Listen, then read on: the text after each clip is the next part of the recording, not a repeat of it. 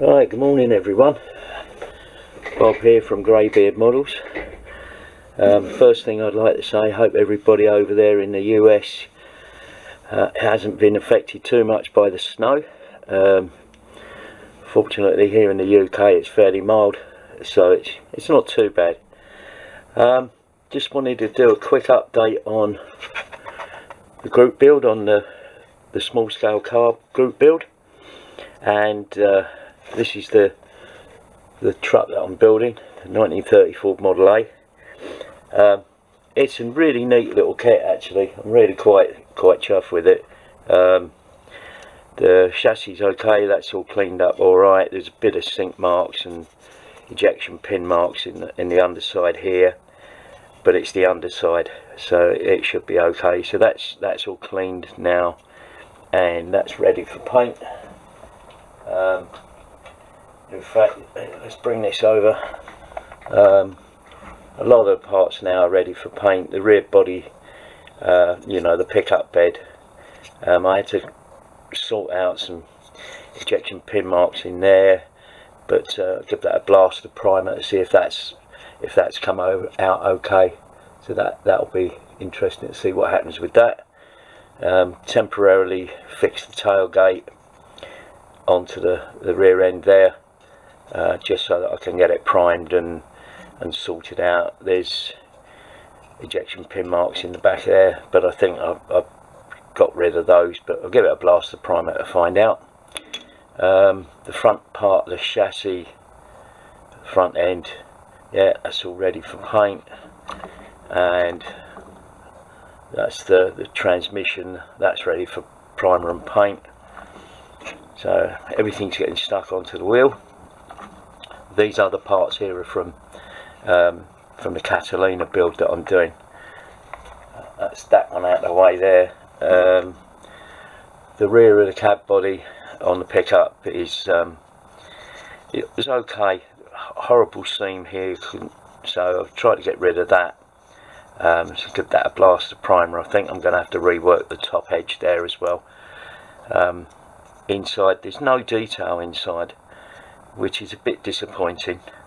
Um, so I'm gonna have to I, I wasn't gonna build do too much detail on this one. I thought I'd just do it as a quick out of the kit out of the box build but um, yeah I'm gonna have to do some internal details for the doors. Um, if I didn't do that I think my brother would shoot me.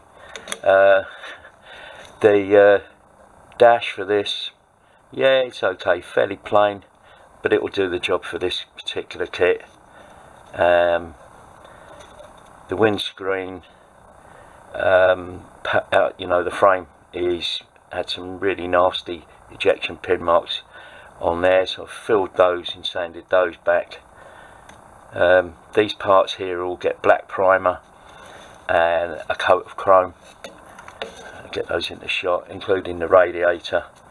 But I'm going to use the radiator to um, get the two halves of the hood together get everything lined up properly. Um, I'll use some blue tack to hold everything in place and get everything lined up and then glued solid. So that's all coming together quite nicely so I'm quite pleased with that. I mean all, all the things with this kit um, they're, they're things that are that are tricky, but you know, we should be able to work our way around these things. They shouldn't be too much of a problem. But the, uh, the main disappointment was the seat. now, according to the box art, let's move that out of the way. According to the box art, the seat's got a diamond pattern upholstery on it. Um, the seat in the kit came with no upholstery, just plain seats. And also, it didn't come far enough back. Um, if I take that out, um, within the cab shell, um, it, it didn't come far enough back. Um, it, it's sort of left a huge gap here. So, what I've done here is um, use some milliput.